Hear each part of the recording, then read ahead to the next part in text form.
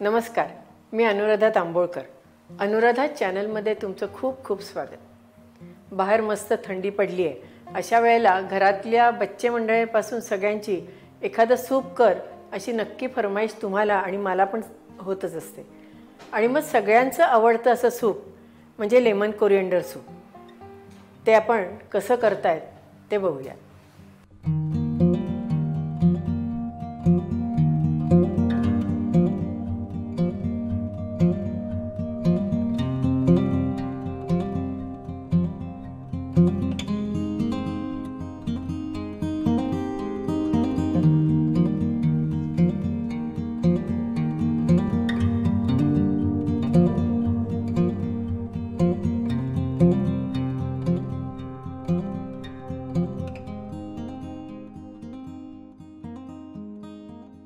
आता या सूपला काय काय इन्ग्रेडियंट्स लागतात किंवा पदार्थ लागतात ते आपण बघूयात. जिऱ्याची पावडर साखर मिरेपूट कॉर्नस्टार्च लवंग आणि तमालपत्र मीठ या घेवड्याच्या शेंगा आहेत त्या बारीक करून घेतल्यात. म्हणजे घेवड्याच्या शेंगा म्हणजे बीन्स आहेत. बीन्स बारीक केलेले गाजर फ्लॉवरचे मोठे तुकडे गाजराचे मोठे मोठे तुकडे लिंब कोथिंबीर मका आणि मटार मशरूम आणि बटर. आता आपण आपण जे सूप करणार आहोत त्याच्याकरता प्रथम पाणी उकळायला ठेवूयात. कारण काय आहे की हे क्लिअर सूप असतं. आणि क्लिअर सूपला आपल्याला व्हेजिटेबल स्टॉक करण्याची खूप गरज असते. म्हणजे ते घालूनच क्लिअर सूप तयार केलं जातं. म्हणून पहिल्यांदा याच्यामध्ये आपण तीन ते चार ग्लास पाणी उकळायला ठेवले. आता पाण्याला उकळी आली आहे त्याच्यामध्ये पहिल्यांदा आपण हे तमालपत्र आणि एक दोन तीन लवंगा आणि एखादा मिरा असं घातलेलं आहे. त्याच्यात तीन चार फ्लॉवरचे मोठे तुकडे. हे सगळ्या भाज्या आपण धुवून मोठ्या मोठ्या चिरून घेतलेल्या आहे थोडे गाजराचे तुकडे. असं घालून साधारण मंद गॅसवर एक दहा मिनटं आपण हे उकळून घेणार आहोत. आता जो व्हेजिटेबल स्टॉक आपण करतो ह्याच्यामध्ये कोबी घालू शकतो कांदा घालू शकतो एखादी लसणाची पाकळी घालू शकतो. आणि विशेषतः ज्या वेळेला आपण भाज्या चिरतो तर समजा गाजर घेतलं आणि गाजरच्या मधला जो भाग असतो किंवा फ्लॉवरचे खालची दांडी असतात ते आपण या पाण्यामध्ये घालून ह्याला चांगली उकळी आणतो आणि तोच तो व्हेजिटेबल स्टॉक असतो. हा व्हेजिटेबल स्टॉक आपण एखादा दिवस ठेवू शकतो जास्तीत जास्त फ्रीजमध्ये एक दोन दिवस राहतो. त्याच्यावर काही हा राहत नाही. आणि त्यामुळे केल्यानंतर लागलीच शक्यतो त्याचा उपयोग केला पाहिजे. आता आपला हा स्टॉक तयार होतो आहे तोपर्यंत आपण दुसऱ्या एका पॅनमध्ये या ज्या सगळ्या भाज्या आहेत त्या आपण थोड्याशा परतून घेऊयात त्याच्याकरता पहिल्यांदा एक अर्धाच चमचा आपण याच्यामध्ये बटर घालतो.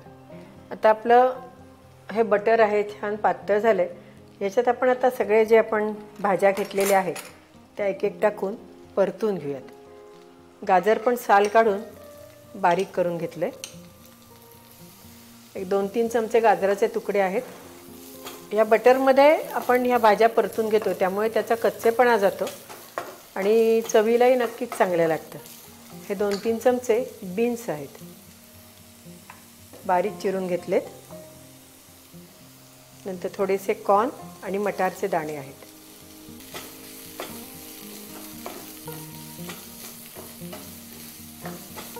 आपल्याला अगदी फार शिजवायचं नाही आहे फक्त त्याचा कच्चेपणा जाऊ द्यायचा आहे. कारण थोडेसे ते असे छान दाताखाली सूप घेताना क्रंची क्रंची आले तर ते छान लागतात. दोन तीन प्रकाराने आपल्याला सूप करता येतात. एक थिक सूप असतं एक क्रीमी सूप असतं आणि आपण जे हे आत्ता करतो आहे हे एक क्लिअर सूप असतं. क्लिअर सूपमध्ये म्हणजे याच्यामध्ये कुठलीही घट्ट म्हणजे टमॅटोचा ज्यूस किंवा घट्ट टमॅटोचा रस किंवा पालकाचा रस असं घातलेलं नसतं म्हणून याला क्लिअर सूप म्हणतात. आणि क्लिअर सूपमध्ये भाज्यांचं प्रमाण जे असतं ते जरा जास्त असतं. आपले छान परतले गेलेले आहेत. आपल्याला हवे तसे त्याच्यात आपण थोडेसे मशरूम घालूयात. अर्थात मशरूम जे आहेत हे ज्यांना आवडत असतील त्यांनीच घालावेत. नसतील आवडत तर नाही घातले तरी चालू शकतात. बारीक चिरलेला कोबी बारीक चिरलेली ब्रोकोली ही सुद्धा आपण त्याच्यामध्ये एक दोन दोन चमचे घातली तरी चालू शकते. त्याच्यात आपण आता थोडंसं पाणी घालणार आहोत आणि थोडं शिजवून घेणार आहोत.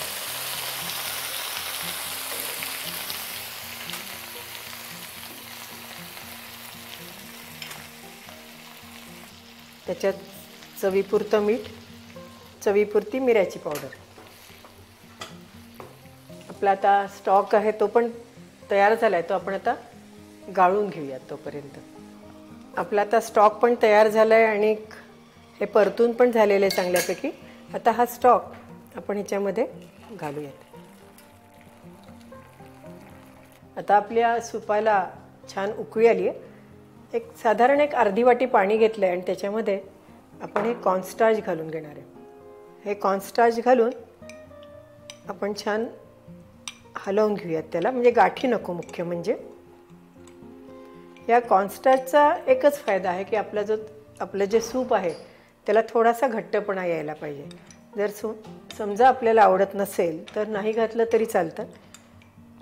किंवा तांदूळाची जर पेस्ट म्हणजे तांदूळाचं पीठ असेल ते पण एक चमचा घालून त्याच्यात थोडंसं पाणी घालून ते जरी याला लावलं तरीसुद्धा चालतं.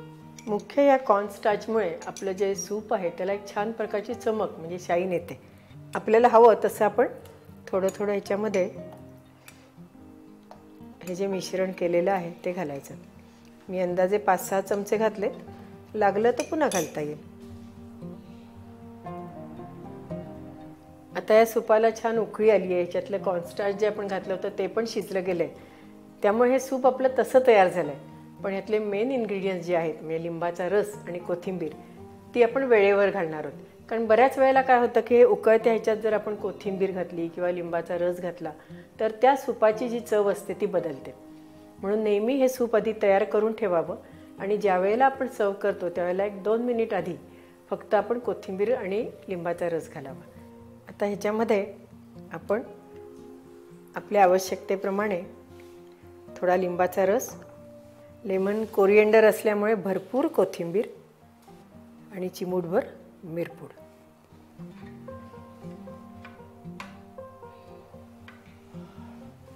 असं हे आपलं छान पौष्टिक लेमन कोरिएंडर सूप झालेलं आहे.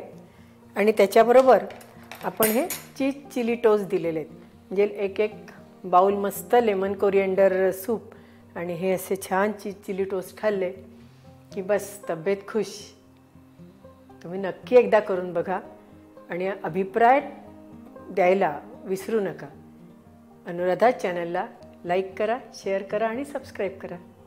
धन्यवाद.